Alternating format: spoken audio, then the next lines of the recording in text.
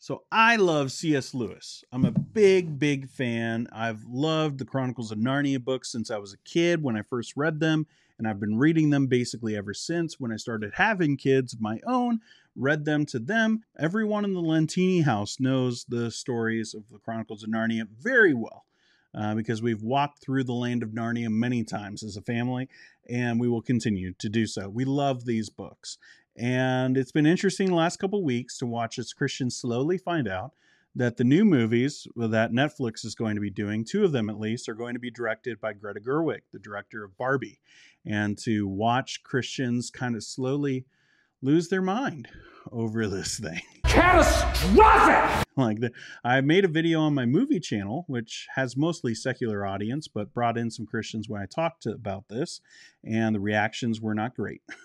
and uh, I've watched some Christians kind of talk about this lately, and uh, I thought it'd be interesting and fun to kind of give my perspective and why I think that it's a great thing. Maybe the best thing that could have happened to the Chronicles of Narnia franchise is to have Greta Gerwig direct these movies, or at least spearhead like the franchise in directing two of these movies.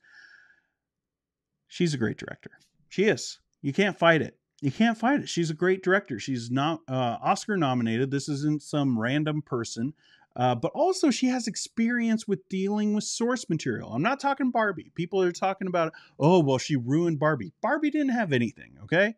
Uh, Barbie had an idea and a look, and Greta Gerwig took that idea and look and ran with it with a unique story.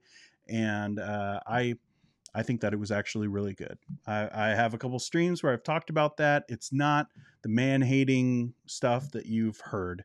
Uh, if you've seen the movie and you still think that, I think you saw a different movie. I don't know what movie you saw, but to me, I, I just don't understand that take. If you look at that movie, when Barbie's in charge, when Ken is in charge, both of these scenarios are bad in the movie. It's, so it's about a compromise between the genders. Anyways, um, it's not about Barbie. It's about Little Women. Little Women is fantastic. All right, I'm not talking about the 1994 classic with Christian Bale as Teddy. That's one down part, and you know this t- making Timothy Chalamet Teddy hashtag not my Teddy. Okay, uh, Christian Bale. Christian Bale was awesome in that one, but everything else in the in the Greta Gerwig directed version in 2018, 2019, whatever year that was, uh, I I think was fantastic. It was a really good movie, and it was faithful to the source material. There was source material there, unlike Barbie. There was just an idea. This had source material, and Greta Gerwig was able to find a way to bring her directorial skill that we saw clearly in Lady Bird and her unique flair into this source material and still be extremely faithful to the source material. So I have no reason to believe that it's going to be any different with Chronicles of Narnia. She had source material, she was faithful to the source material, and I think that she'll be faithful to the source material of Chronicles of Narnia. Um, now, you know, there are going to be people who are like, well, she's biased, so of course it's going to bleed into her her work. Yeah, so is everybody everybody is biased and that always comes into their work. It doesn't mean that they're not able to perform their tasks. Doesn't mean that they can't do their job just because they have a bias. It means that you know we need to be a little bit careful about how we deal with things when we have a bias. And maybe the bias is actually thinking that she's going to be biased. I'm just saying all right? These things are kind of circular. All right second reason. Narnia isn't just an allegory okay uh, the chronicles of narnia yes you know, Aslan represents Jesus, and it's beautiful and it's great and some of my favorite stuff in the Chronicles of Narnia. But it's so much more than that. First, the allegory is so much more than that. It's about the Christian life. It's about the enticement of sin. It's about um, you know choosing to be loyal to the king at all costs, like and to pursue like the king's plan. Like there's so much more than just uh, Lion Jesus. It's more. It's more than Lion Jesus. It's it's a beautiful story but it also it's a fairy tale. It is. It is a fairy tale, and it's a fairy tale that's connected with the whole world. It's why Disney tried to make so much money off the project because they thought there was so much money to be had. It's why Netflix bought the rights for it. It's why they're making these movies because they aren't, you know, just thinking, oh, every Christian will come to this movie. You know, they're thinking about the whole world. They're thinking that what what kid doesn't want to become a king and queen in uh, some fantasy land that they could enter in through their closet. You know, like that.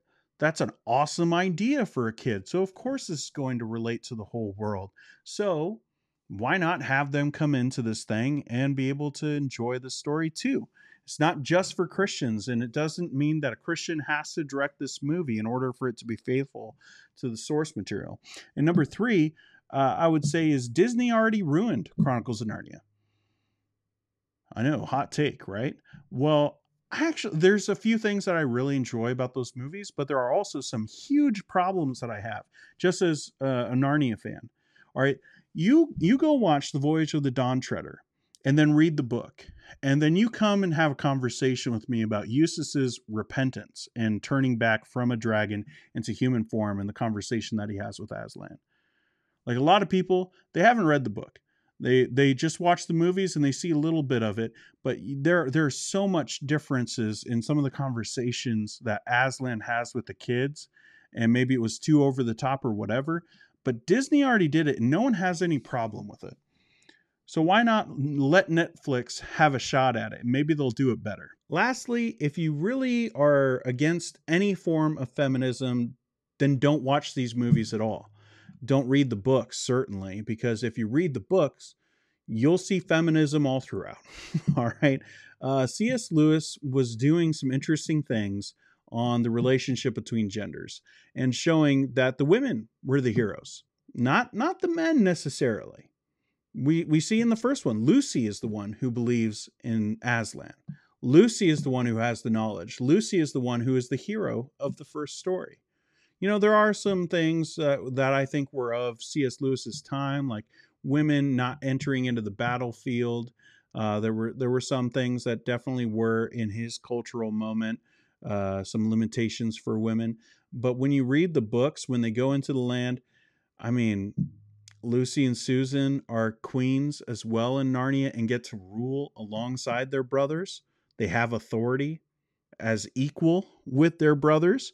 Later on, Jill Pole is the hero. Like the women actually are more heroic, I would say. Uh, maybe except for Prince Caspian. He's kind of like the hero of all heroes in Narnia. Um, but women are looked at as heroic in these books. And actually, they move the narrative probably further than than the men do in these books. So I'm just saying like there's there's already some feminism there. So these are the reasons why I think Christians should stop freaking out and should maybe give Greta Gerwig a chance and let her direct these things. And if you don't like it after she directed it, fine. But I am very excited for Greta Gerwig to direct these things. Maybe I'm wrong but I'm willing to take a shot on an Oscar nominated director who is doing very interesting things, taking a property where she's already taken a very famous property and been faithful to that source material. I, am very interested to see what she does with Chronicles of Narnia. Anyways, I will see you in the next stream, probably on Friday. Bye.